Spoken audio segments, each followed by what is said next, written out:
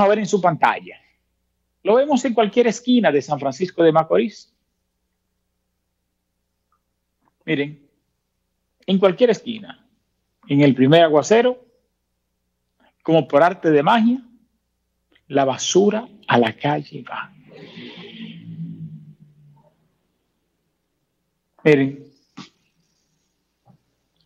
mira el cúmulo de basura que hay ahí. ¿Creen ustedes que es responsabilidad del Ayuntamiento Municipal de San Francisco de Macorís? ¿Creen ustedes esto? Si bien es cierto, si bien es cierto que pesa sobre el ayuntamiento municipal la recogida de los desechos sólidos, también es cierto que los ciudadanos debemos de ser respetuosos y debemos de ser responsables y debemos de ser higiénicos, que lamentablemente no lo somos. O lamentablemente no lo son porque no me voy a incluir. No me voy a incluir. En nuestra casa, al momento de construirla, nosotros pensamos en un hamper para la basura, en plot, con sus puertas de tola, con su hidrante para la limpieza. Y así lo tenemos. Porque el ayuntamiento municipal no tiene que venir a barrer el frente de mi casa. Es que yo no debo sacar la basura a la calle a destiempo. Para eso están los horarios de recogida de basura. Y hemos visto, hemos visto que acabando el camión de pasar, vemos un grupo de basura que va dejando el camión, pero vemos otro grupo de basura que le está sacando el ciudadano. Está contaminando su propio entorno. Entonces me preocupa grandemente. ¿Por qué? Porque estamos en un tiempo de pandemia. El organismo humano está amenazado. Y si sumado a esto le llevamos nuevas amenazas con medios de cultivo que favorecen la formación de plagas, de insectos, de bacterias que contaminan el medio ambiente, estaríamos provocando nuevos brotes y un cóctel de enfermedades que pondrían más en riesgo el sistema de salud en la República Dominicana. Siempre he criticado que este es un estado totalmente desmembrado, el ayuntamiento por un lado. Hoy vimos que el Chubasques llamaba a los gobernadores a integrarse en la lucha contra, contra el COVID. Vemos a salud pública por otro lado. Es decir, cada quien está con sus intereses trabajando de manera paralela. Cuando debemos tener un Estado totalmente integrado. Hay un capítulo en el ayuntamiento municipal, en la partida presupuestaria del ayuntamiento municipal, de un 4% destinado a educación, a salud y a género. Cosa esta que nosotros no la entendemos, honestamente. Y si ese capítulo está ahí, pues debe aprovecharse para qué? No para asistencialismo, sino para educación campañas educativas de la población y tener métodos coercitivos que conminen al ciudadano a cumplir con las normas y a cumplir con las leyes. Por eso es tan importante las cámaras de vigilancia.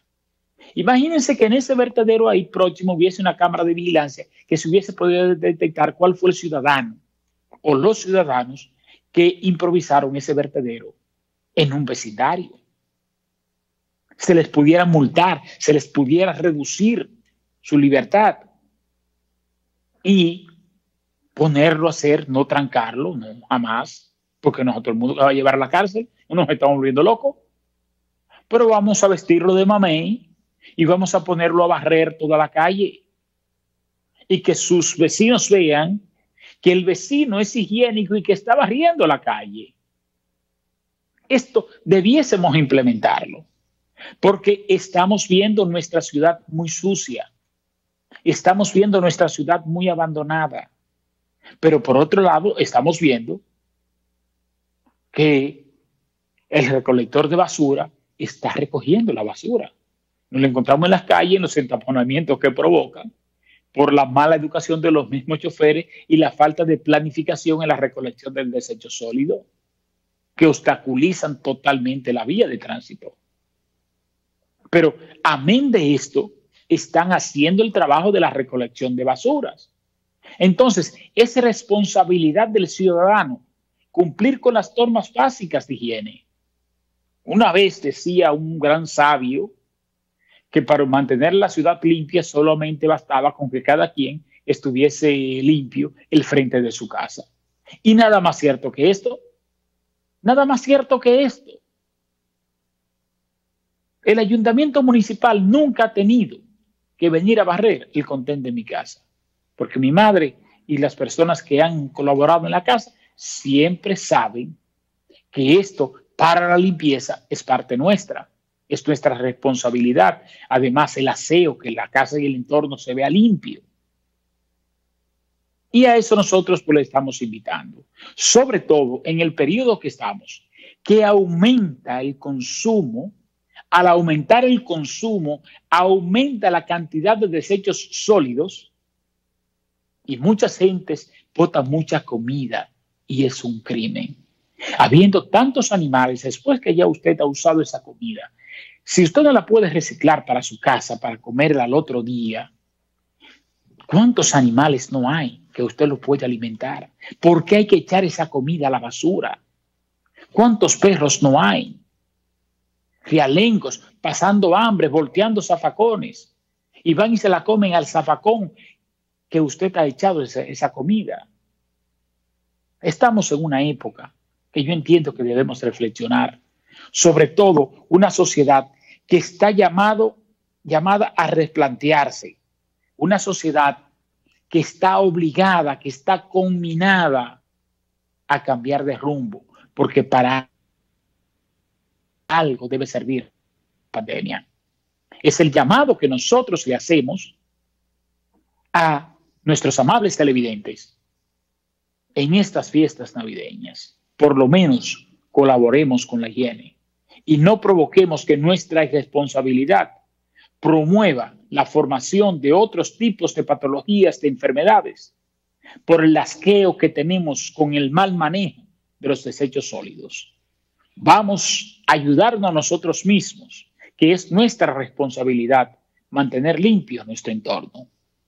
Le vamos a pedir un permisito y tras la pausa, nosotros pues le vamos a presentar la importante conversación que sostuviéramos con el licenciado Jorge Peña el pasado domingo en nuestro espacio El Poder de la Información sobre la situación que están viviendo los empleados públicos, su despido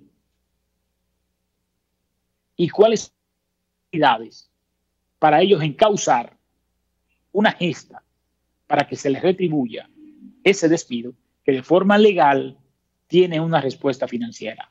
Nos vamos a una pequeña pausa y cuando regresemos no se pierde esta importante conversación con el licenciado Jorge Peña.